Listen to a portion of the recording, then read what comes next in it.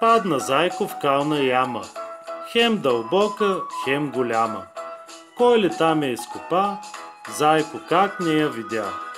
С всички сили той подскочи, ямата за да прескочи.